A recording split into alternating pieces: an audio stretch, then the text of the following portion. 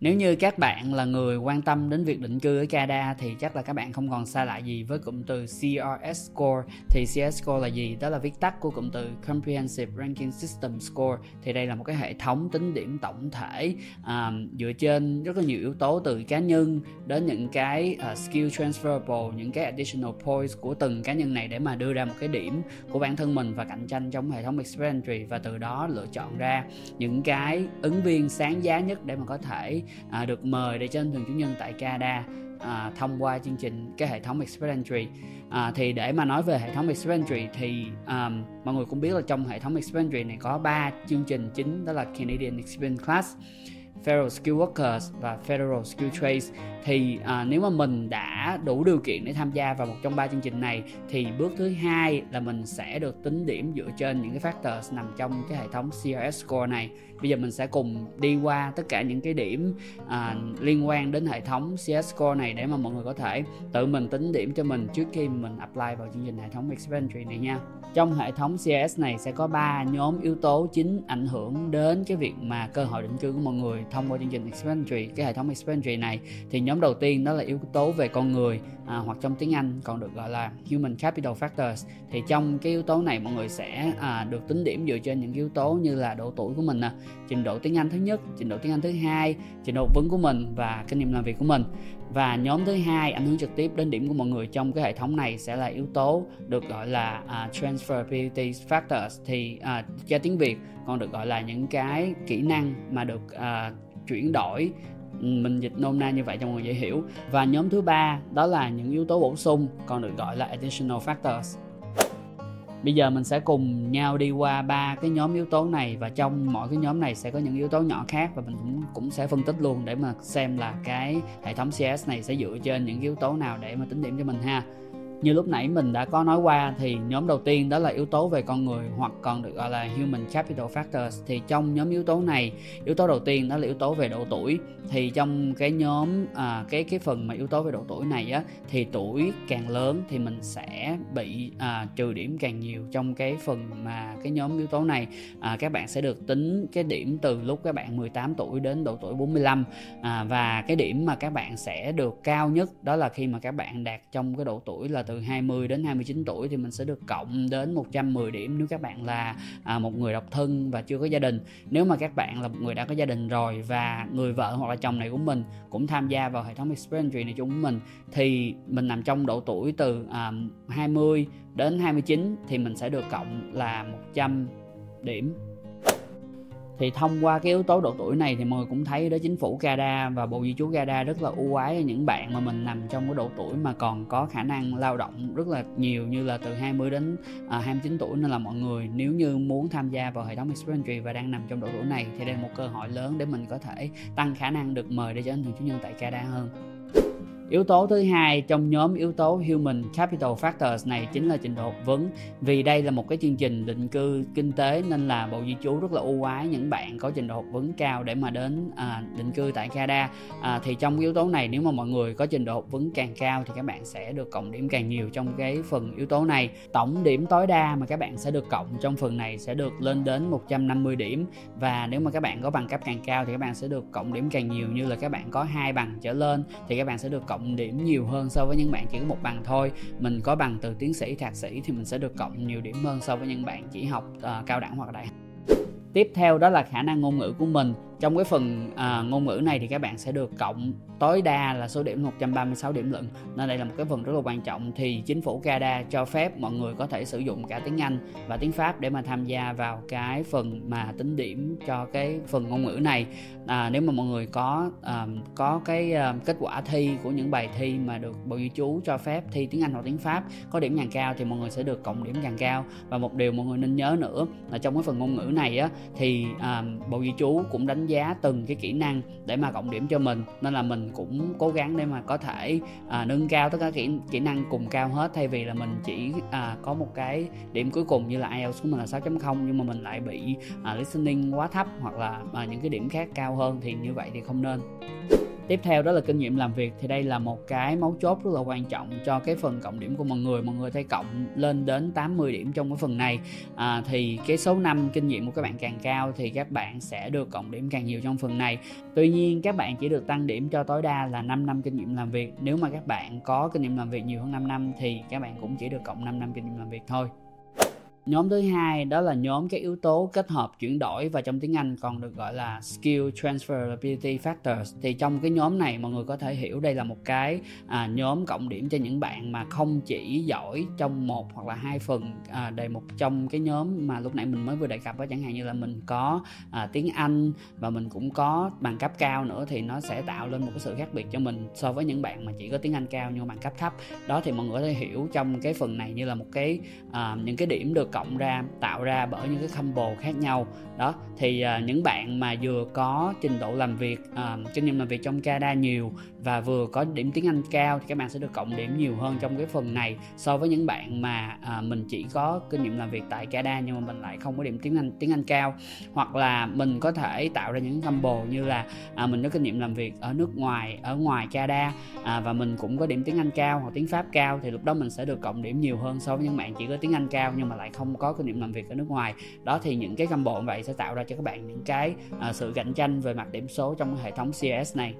Và cái phần yếu tố này chỉ được áp dụng và cộng cho những bạn được gọi là uh, primary applicant thôi. Có nghĩa là mình không được áp dụng cái phần cộng điểm combo này cho vợ hoặc là chồng hoặc là người bạn đời của mình. Và số điểm tối đa mà các bạn được cộng trong cái nhóm yếu tố về chuyển đổi này thì chỉ được là maximum là 100 điểm thôi và cuối cùng là nhóm thứ ba trong nhóm này đó là các additional factors hoặc là còn được gọi là các yếu tố cộng thêm. Và trong phần cộng điểm này số điểm tối đa các bạn sẽ được cộng trong phần này sẽ là 600 điểm lận. Thì à, bao gồm những cái phần sau. Thứ nhất là nếu mà mình có anh hoặc là chị em nào đó đang sinh sống tại Canada thì đó mình sẽ được cộng điểm nè. Hoặc là mình có trình độ tiếng tiếng Pháp thì đó mình sẽ được cộng điểm. Hoặc là các bạn đã từng học một cái bằng cấp từ à, sau trung học phổ thông trở lên tại Canada thì đó mình cũng được cộng điểm. À, ngoài ra các bạn cũng có được được cộng từ 50 đến 200 điểm 200 điểm nếu như mình có một thứ gọi là LMAA Arrange Employment trong Canada này. Thì uh, cái số điểm cộng 50 và 200 này nó tùy thuộc vào cái tier của mình trong vị trí làm việc của mình trong cái job offer trong LMA của mình tại Canada. Và cuối cùng nếu mà các bạn có một thứ gọi là uh, provincial nomination letter à, một cái à, thư đề cử của tỉnh bang để mà các bạn được cộng thêm 600 điểm trong cái phần này thì nãy giờ Andy giải thích rất là nhiều về các nhóm yếu tố cũng như các yếu tố được cộng điểm thì nó cũng khá là phức tạp. Để cho mọi người dễ hình dung thêm thì bây giờ Andy sẽ đi lên máy tính của mình để mình cùng đưa ra một cái ví dụ điển hình để mà cộng thử một số điểm cho một bạn trong ví dụ này. Để mà khi mà mọi người cùng à, nếu mà mọi người dùng cái hệ thống CIS calculator này á mọi người có thể tự mình tính cho mình cái số điểm của mình ha. Ok mọi người, bây giờ mình sẽ cùng nhau uh, đi qua cái hệ thống CRS uh, ờ, Score Calculator mà uh, Bộ Di trú Gada đã làm sẵn cho mình để mình tính điểm của bản thân mình nha. Thì uh, cái mà dễ nhất để mọi người có thể cùng theo dõi là mình sẽ đi lên trang Google trước và mình bấm vào đây là CRS uh, Calculator đó bấm enter rồi mọi người chỉ cần bấm vào cái link đầu tiên thôi nó gọi là comprehensive uh, ranking system tool này. Bấm vào đây thì mọi người uh, sẽ đi vào trang này. Thì khi đi vào trang này rồi thì mọi người chỉ cần kéo xuống thôi và mình điền vào những cái thông tin của bản thân mình uh, để mình có thể tính điểm cho bản thân mình. Thì uh, Andy sẽ cùng nhau uh, cùng mọi người đi qua một lượt những cái thông tin này để cùng nhau tính ra một cái số điểm cho một cái ví dụ này ha. Thí dụ như là bạn này là bạn uh, chưa từng uh, kết hôn bạn à, là một du học sinh đã mới vừa tốt nghiệp tại Canada thì mình sẽ điền đây là single. Và à, khi mình mới vừa tốt nghiệp tại Canada nếu mà bạn tốt nghiệp đại học thì mình nghĩ là bạn chắc tầm 22 tuổi thì mình sẽ để 22 tuổi đây. Và à, education thì đây là mình sẽ điền vào cái trình độ học vấn mà của mình à, thì mình điền vào trình độ vấn cao nhất của mình ở đây thì bạn này sẽ là một người tốt nghiệp bachelor degree là một cái bằng đại học tại Canada. À, thì các bạn lưu ý là à, cái bằng này á sẽ là một cái một là cái trình độ vấn cao nhất của mình đối với những cái bạn mà mình à, đã từng tốt nghiệp đại học ở Việt Nam rồi hay là một cái đất nước khác rồi. Sau đó mình đến Canada mình học thêm một cái bằng nữa à, là bằng cao đẳng. Thì lúc đó các bạn nhớ điền vào à,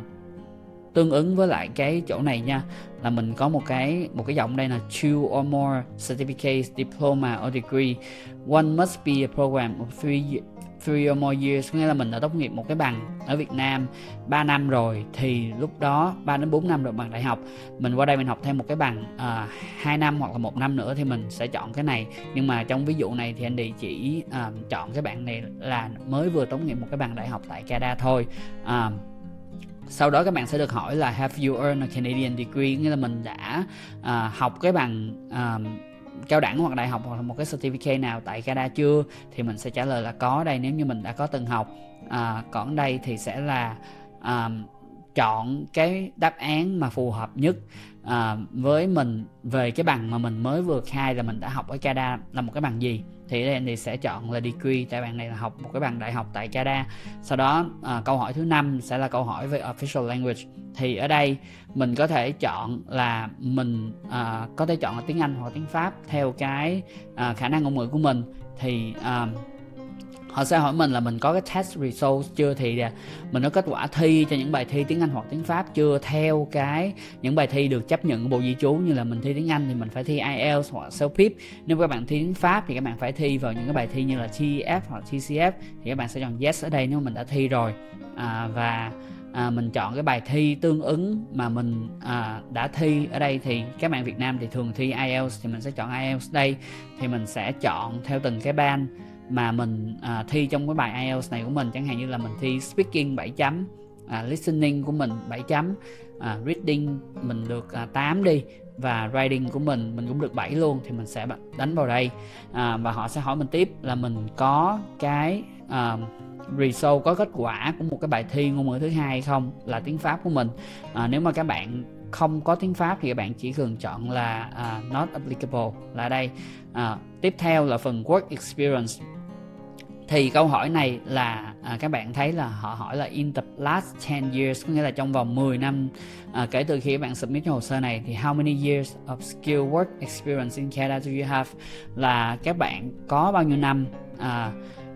kinh nghiệm làm việc trong Canada mà phải là skill work mới được? Nghĩa là là ở đây họ có định nghĩa về skill work nè là những cái công việc những cái job title mà nằm trong cái tier 0 1 2 3 lúc đó các bạn mới được tính ha. Thì các bạn điền vào số năm tương ứng. Thì bạn này mới vừa tốt nghiệp đại học ra à, và bạn đi làm trong một cái à, công ty à, trong một cái tier là nằm trong 0 1 2 3 và bạn làm được một năm thì mình sẽ điền một năm một năm ở đây. À, câu hỏi hai la mã nhỏ ở đây sẽ là trong vòng 10 năm thì mình có bao nhiêu năm làm việc ở ngoài Canada?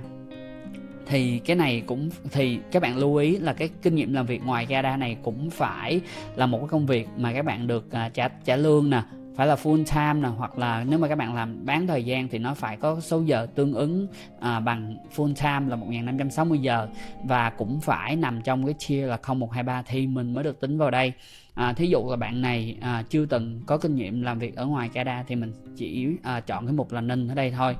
À, tiếp theo là câu hỏi số 7 là do you have a certificate of qualification from a Canadian province? Uh, territory or federal body nghĩa là mình có một cái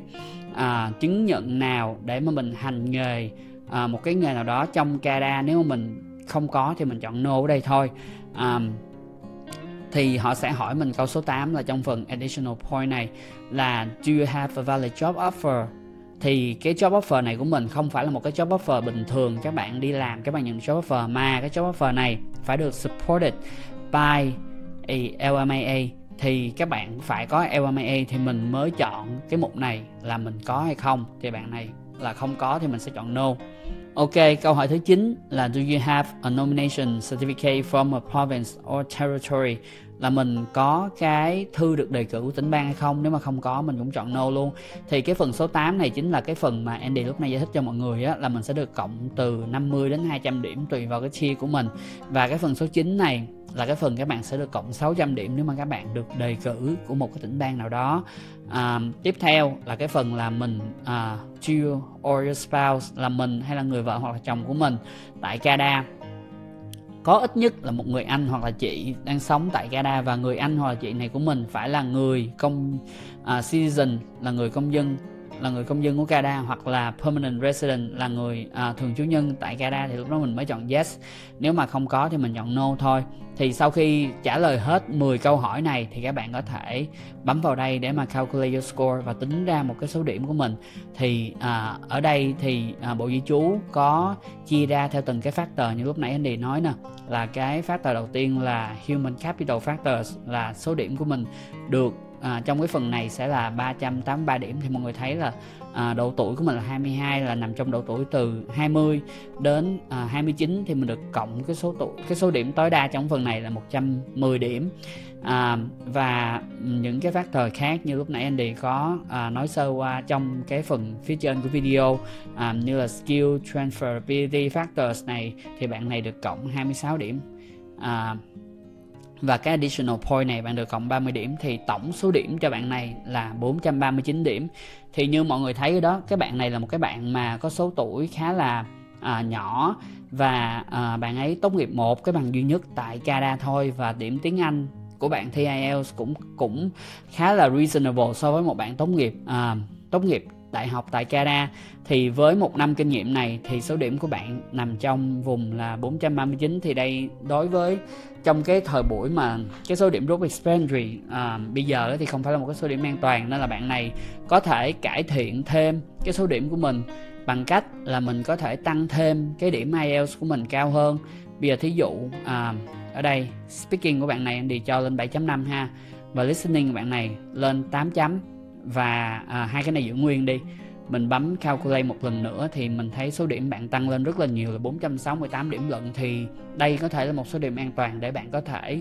ngồi chờ à, hệ thống Experience rút tới bạn và mời bạn trở thành mời bạn để mà có khả năng apply trở thành thường trú nhân tại Canada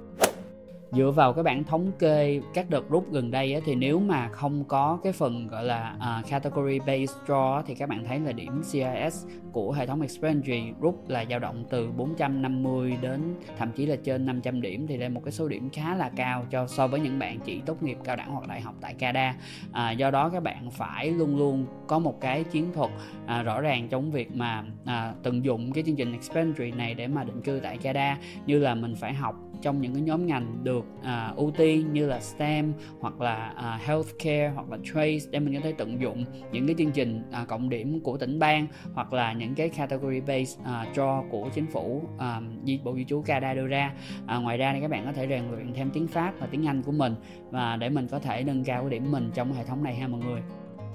Hy vọng là sau cái video này mọi người có thể tận dụng cái CIS Calculator Tool mà Andy mới vừa đưa ra à, ví dụ cho mọi người xem á để mà tận dụng nó tính ra một số điểm của mình để mình biết vị trí của mình đang ở đâu và cần phải trao dồi thêm những kỹ năng những cái nhóm à, yếu tố nào để mình có thể nâng điểm lên và cạnh tranh hơn trong hệ thống Experience này và sớm trở thành thường chủ nhân tại Canada. Nếu mọi người cảm thấy video này là bổ ích thì mọi người nhớ like, share và subscribe vào kênh YouTube của Andy để mình có thể à, cùng nhau trao đổi về những chương trình du học học định cư cũng như cuộc sống tại Canada à, hàng tuần tại kênh youtube này. Mình là Andy Lu hiện nay đang là RCSC IRB làm việc tại văn phòng Jesse Tonto. Mình sẽ hẹn gặp tất cả mọi người trong video sau nhé. Bye bye.